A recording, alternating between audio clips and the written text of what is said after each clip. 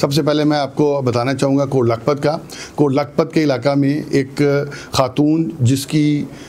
नीम भरना, जली हुई लाश उसके एक फ्लैट से मिली और उस खातून के बारे में एक जो जनरल ऑब्जर्वेशन थी वो ये कि शायद उनका ताल्लुक किसी ड्रग पैडलिंग रैकेट के साथ है और बड़ी इनोनमसी उनकी, उसकी वहाँ पे शख्सियत थी। उस पूरे ब्लॉक में किसी दीगर जो हमसाए हैं उनके साथ उनका मिलना जुलना नहीं था।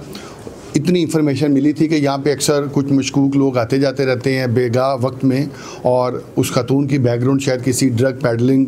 गैंग के साथ है। और उस रुकुए को एक हादसाती रुख देने की कोशिश की गई, लेकिन पुलिस को लखपत इंचार्ज इन्वेस्टिगेशन राना नईम और उनकी टीम ने डीएसपी मॉडल टाउन की सबराही में बड़ी जानफशानी से और बड़ी मेहनत से काम किया और इस अंधे कत्ल को ना सिर्फ़ ट्रेस किया, बल्कि उस हादसाती जो एक मौत को जो वाक़े को रूप देने की कोशिश की गई थी, उसको आनत किया और उसमें जो एक मुलम था उसे गिरफ़्तार किया और अब उसको रिमांड पे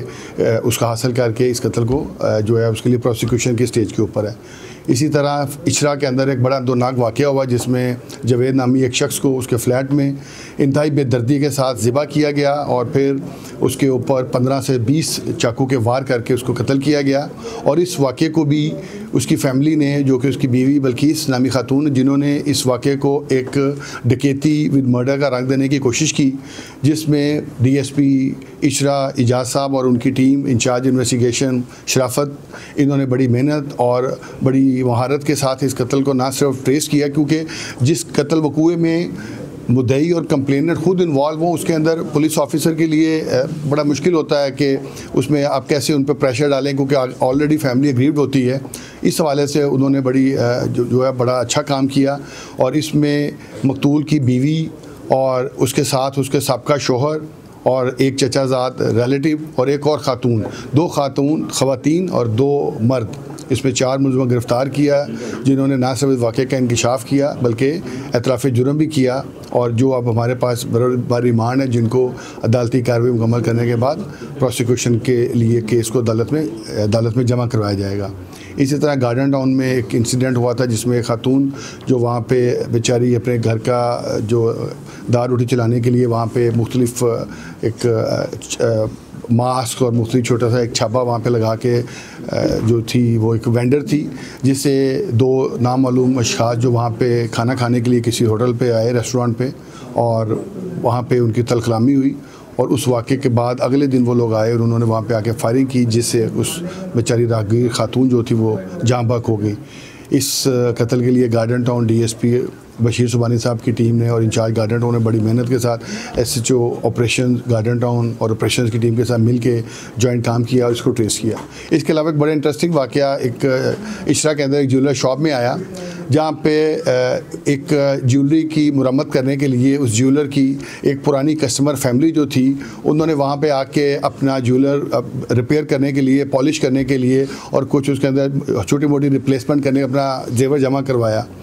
और कुछ अरसे बाद एक शख्स जिसने अपने आप को एक आर्मी और हसास इदारे का मुलाजिम ज़ाहिर किया और उस फैमिली का अपने आप को अज़ीज़ शो करके उनसे, उस जेवर को वापस लिया कि ये हमें कोई फ़ंक्शन आ गया तो हम ये आपसे दोबारा जो है वो रिपेयर के लिए दे देंगे। ये भी आप हमें वापस कर दें। उस फ़ंक्शन के बाद हम आपको दोबारा रिपेयर के लिए देंगे। और वो वो जेवर लेके चला गया। जब कुछ दिन तक वो जेवर वापस ना आया और ज्वेलर ने रबता किया, असल ओनर के साथ उन्होंने कहा कि हमने तो ये जेवर मंगवाया ही नहीं है। तो ये एक बड़ा एक,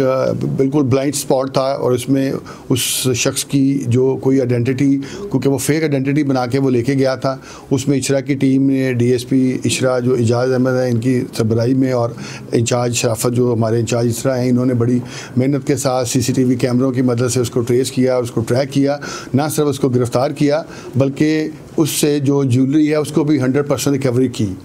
और इस प्रेस कॉन्फ्रेंस का मकसद? आवाम को सिर्फ़ ये एहसास दिलाना कि हम लोग, हम लोगों ने जो हल्फ लिया है और जो हमारी ड्यूटी है कि हम लाहौर के बासियों के लिए और बिलखसूस मॉडल टाउन के बासियों की जान, माल और इज़्ज़त की हिफाजत के जो है वो कस्टोडियन है और उसके लिए हम अपनी तमाम, अपने तमाम वसाइल और अपनी तमाम कोशिश बुरुए कार ला रहे हैं और हम अल्लाह ताला से दुआ गो हैं कि अल्लाह ताला हमारा हम नासिर है और हमें तोफ़ी दे कि हम इन जराम पेशा अफराद के कला कमा करने के लिए इसी मेहनत और इसी जाफशानी से अपना काम जारी रखें।